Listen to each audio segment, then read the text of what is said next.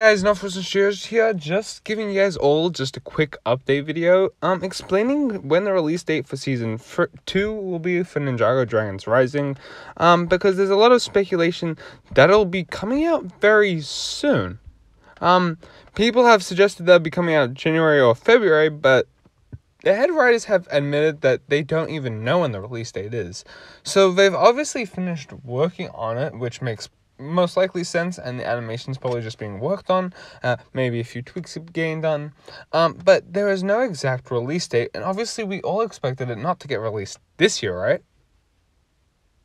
Did any of you expect it to get released this year? Because if so, I would have had really low expectations on that.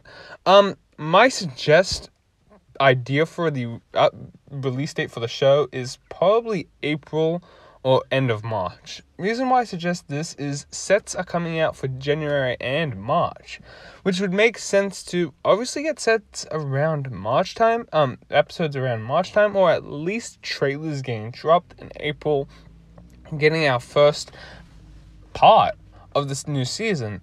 I wouldn't be expecting anything more from Lego to be honest, because it makes sense to obviously fill up the 12 month calendar with having your first three months full of new Ninjago sets, and then in, April and May having the show get released.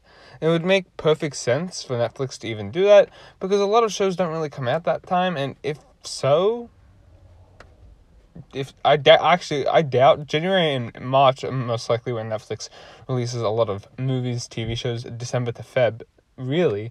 So any time between March, April, and May would be a perfect window for Netflix to release this new series. Um, but please let me know your thoughts in the comments. Make sure to like, subscribe, and check out my videos. You guys have been absolutely amazing. Peace.